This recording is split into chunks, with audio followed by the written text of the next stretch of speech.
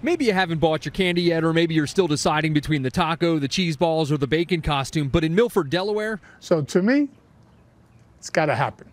the mayor says trick or treating is happening Halloween night. It was literally an agenda item on the Monday night council meeting. The mayor's favorite candy. Three Musketeers.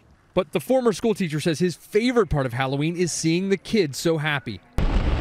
Hopefully, the weather on Halloween will be better than today's in this town on the Kent and Sussex County line. And while there's no parade this year in Milford, the mayor says trick or treating can be done safely. He's counting on parents to keep an eye on their masked up kids. And if you, as a homeowner, think trick or treating is a bad idea, easy solution.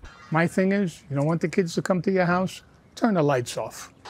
the fluorescent uh, bracelets, necklace, uh, glow sticks. Virginia gives out the good stuff on Halloween. No walnuts and pennies at her house. She knows some homes might leave candy down by the sidewalk or toss candy to the kids to avoid contact. But she says either way, she'll be excited to see the kids enjoying the night.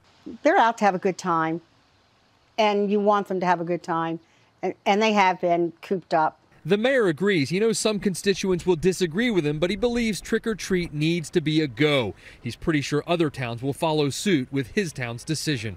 The kids deserve it. They need it. In Milford, Tim Furlong, NBC 10 News.